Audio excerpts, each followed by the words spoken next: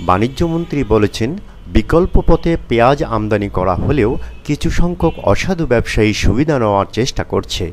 তাদের বিরুদ্ধে ব্যবস্থা গ্রহণ করা হবে। আজ দুপুরে রংপুর নগরীর সেন্ট্রাল রোডস্থ তার বাসভবনে তিনি এ কথা বলেন। তিনি আরও বলেন, দেশে এখনও পর্যন্ত পর্যাপ্ত পরিমাণ পেঁয়াজ মজুদ আছে। যারা অবৈধভাবে পেঁয়াজ মজুদ করবেন, তাদের বিরুদ্ধে আইনি ব্যবস্থা নেওয়া হবে। মাঠে দশটি টিম কাজ করছে। ঢাকায় পঁয়তাল্লিশটি স্থানে টিসিবি পঁয়তাল্লিশ টাকা করে পেঁয়াজ বিক্রি করছে। রংপুরে টিসিবি পেঁয়াজ বিক্রি করবেন, এ ব্যবস্থা করা হবে। যাতে করে মানুষ কোনো পেঁয়াজ নিয়ে অসুবিধায় না পড়ে। তো অচিরেই তারা এটা উজ্জ্ব করবে। আমরা বাইরের থেকে আনার চেষ্টা করছি। আর দেশে এখন পেঁয়াজের মজুদ যথেষ্ট পরিমাণ আছে। আমরা শক্ত অবস্থান নিচ্ছি। যারা অবৈধভাবে ভোট করবে, জমা করবে করবে তাদের বিরুদ্ধে ব্যবস্থা নেওয়া হচ্ছে। দশটা টিম কাজ করতেছে। আর ঢাকাতে পঁয়ত্রিশটা জায়গাতে আমরা পঁয়তাল্লিশ টাকা দর টিসিবি থেকে ভালো এই পেঁয়াজ বিক্রি করছি।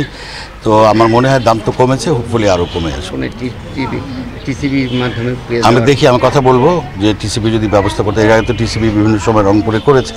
আমি কালকে ফিরে গিয়ে টিসিবি চেয়ারম্যানের সাথে কথা বলে যে রংপুরে বিক্রি করা যায়